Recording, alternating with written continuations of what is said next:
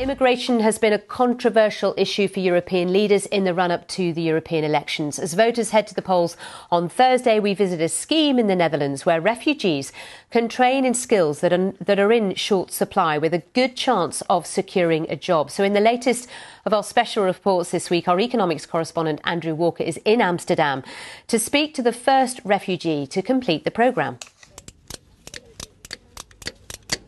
Mohanad Salha is 24 years old. He's a newly qualified electrician working here on a new housing development in Almere near Amsterdam. But he and his elder brother came to the Netherlands as refugees fleeing the war in Syria. It was tough at first. The beginning of being in a new country, you have to know if you can stay in this country or not. And this process will take uh, minimum one year till two years. You're in the country that you know nobody here, you have no connections, no family, really no one. But life is brighter now. He has a secure job and is settled here.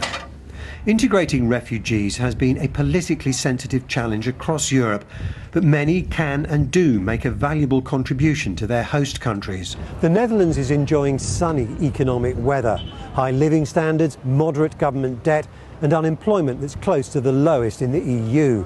But that brings its own problems for Dutch business. Certain skills are in very short supply, and some companies are taking pretty unusual steps to deal with it.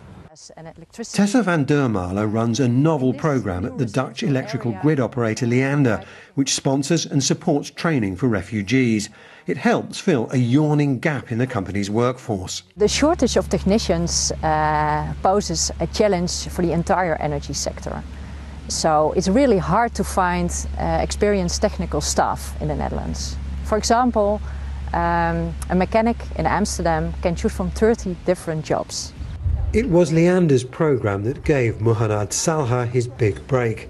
He's one of the first former refugees to receive the diploma needed to work as an electrician. I work here a full-time job with uh, 40 hours per week and the contract is for five years.